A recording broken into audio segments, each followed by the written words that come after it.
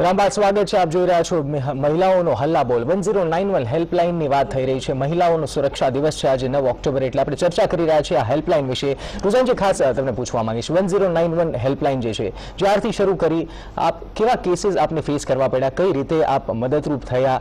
એ જે ભોગ બનનાર મહિલા છે, અથવા તો જે જેણે ફરિયાદ કરી છે જેને ફોન કર્યા છે મહિલાને? સૌથી પહેલા તો ઇમરજન્સી લાઈન છે, એટલે જ્યારે કે તમે રેપ થતો હોય મોલેસ્ટેશન થતું હોય ઈ ટીઝિંગ થતી હોય ડોમેસ્ટિક વાયલન્સ કિડનેપિંગ આ વખતે તમારે દસ એકાણું દબાઈ અને બાજુમાં મૂકી દેવાનું. તમે બોલી નહીં શકશો કારણ કે તમે ફોન કાને નહીં રાખી શકો કારણ કે સામેવાળો તમને રાખવા નથી દેવાનો. એટલે સાઈડમાં મૂકીને બુમાબુમ બી કરશો, છોડ દે મુજે ક્યાં કરાય? તો અમારા પોલીસ ઓપરેટરોને ખબર પડી જશે કે તમે તકલીફમાં છો, લોકેશન સુધી તમને બચાવ આવશે. અમે જ્યારે ચાલુ કર્યું ત્યારે અમે ઘણી બહેનોને કોઈક બેટ ખાતી હતી, કોઈકને ગોધી મૂકી હતી, કોઈકને માર ખાતું હતું, કોઈકના કપડાં ફાડતા હતા. એટલે આવા બધા ઘણા કેસીસ અમે હેન્ડલ કર્યા છે, જેમાં એન વખતે તમે નોર્મલી કહેતા હશો જૂની સ્ટોરી ખબર છે, મને લોકો કે બધું પતી જાય પછી. પોલીસ આવે.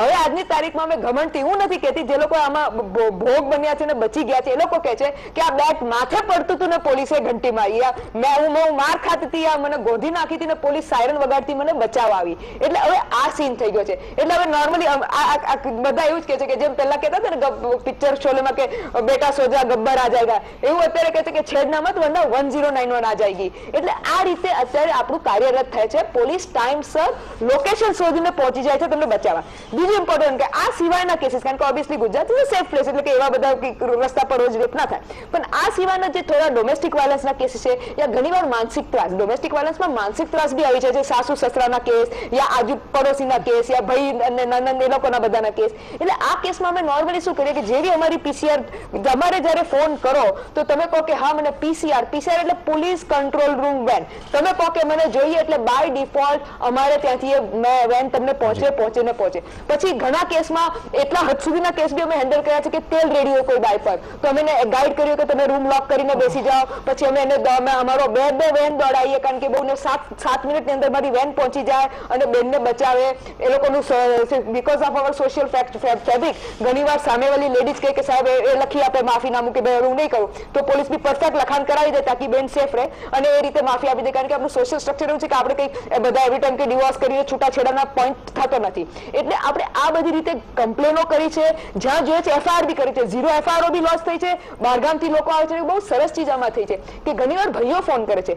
ઘણા કેસીસમાં અમારે એવું આવ્યું છે કે ભાઈઓએ ફોન કરીને બહેનો માટે મદદ માંગી છે. ઘણા કેસમાં એવું બી આવ્યું છે કે ભાઈ પોતે ફોન કરે એને મદદ જોઈતી અને કંઈ સુસાઇડલ થોટ હોય, તમે એવું ના હોય કે એને સુસાઇડલ થોટ હોય, તમે કહી દે કે ભાઈ તું એને તમે કેમ, અમે કેમ દુનિયા કેટલી હસીન કહીને ફોન મૂકે એવું ના કરીએ. અમે એનું લોકેશન શોધી અને ત્યાંથી બહાર કાઢીએ, બચાવીએ એનું મેડિકલ કરાવીએ, એટલું બધું કરાવીએ.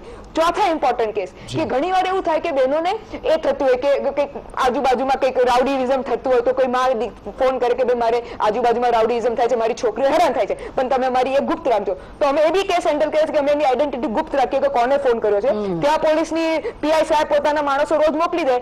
બે ચાર ચાર કલાક ત્યાં માણસો બેસી આવે એટલે પેલું જે અડ્ડો હોય આખો વિખરાઈ જાય. એટલે આ બધા બી કેસીસ હેન્ડલ કર્યા છે. એટલે મારે હંમેશા કેવું છે કે પોલીસ છે તમારી જોડે પણ તમારે કોન્ટેક્ટ કરવાની જરૂર છે ને તમે તમારો પ્રોબ્લેમ કહો ને માગો કહો કે હા અમને પોલીસની મદદ જોઈએ છે અમને પીસીઆર વેન મોકલો ને પોલીસ તમને બચાવવા આવશે. તો ખાસ કરીને જે હેલ્પલાઇન છે એ મદદરૂપ થઈ રહી છે મહિલાઓને. અનેક એવા કેસ સામે આવ્યા છે જેમાં મહિલાઓનો બચાવ પણ કરવામાં આવ્યો છે. આગળ પણ આ હેલ્પલાઇન વિશે જાણીશું. હાલ સમય વધુ એક વિરામ